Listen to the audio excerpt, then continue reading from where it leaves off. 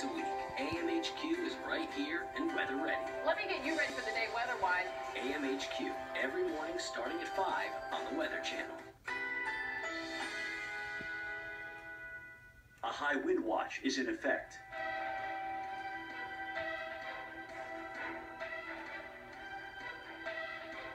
Currently in our area, 44 degrees under cloudy skies.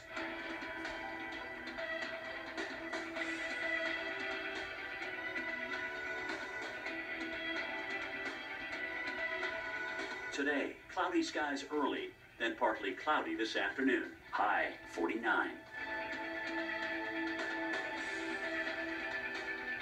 Tonight, fog developing overnight. Low 41. Winds light and variable. Sunday, afternoon showers. High 50. Chance of rain 50%. Here's our seven day outlook.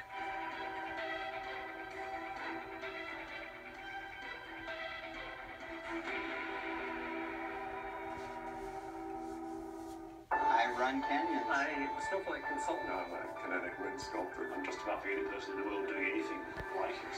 From the Weather Channel and internet filmmakers' great big story comes a celebration of storytelling and weather. That's amazing. Sunday nights at 9, only on the Weather Channel. 10 minutes past the hour, tracking severe weather and some tornado warnings we want to update you on. The latest one south of Macon and just about ready to impact portions of I-75. Houston, Macon, and Peach counties in effect for you until 1230 Eastern Time.